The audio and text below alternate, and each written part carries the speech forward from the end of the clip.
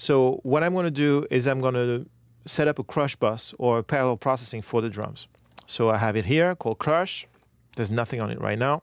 What I'm going to do is send all three drum tracks to it into the aux called crush, which bears its name very well. I'm going to set those tracks so you can see them like this. So what I do usually is I select those three tracks and I go to edit, automation, copy to send, and this is send E. So what did that do? That copied my balance between the three instruments to the aux neatly without having to do it by hand. Rock and roll. And then I'm going to make those three tracks pre. So now I can have one mix for the dry sound and one mix for the crush sound up here. And they're different because these auxes are pre-fader. And then I'm going to put a compressor on there and I'm going to crush the hell out of those drum tracks. And because these are in pre, I'm able to listen to just the crush bus. Oh yeah. Open this, close the release to make it pump, be wholly uncivilized.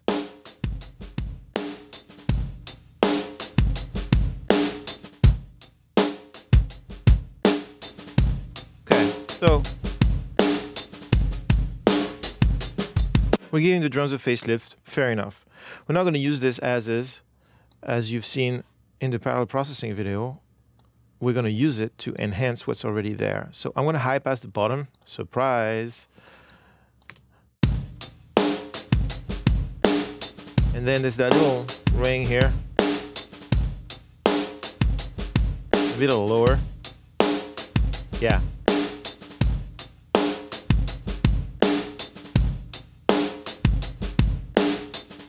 Yeah, that's better. And now what I'm going to do is turn the other drums back on and then tuck this under.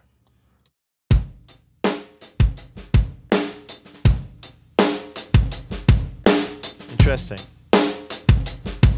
I think it probably will work even better if I make it less stereo and more in-your-face mono in the middle like this.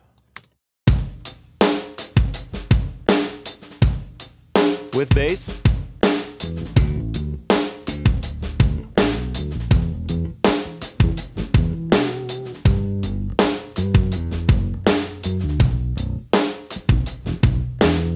You notice I'm clipping on the crush bus. That's because I'm getting out of here way too loud. So I'm going to take it down on the output of the compressor so it's no longer clipping after that.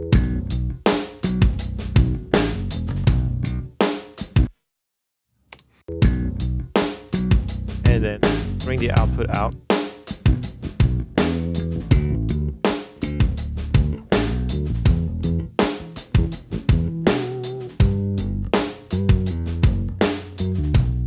That sounds great.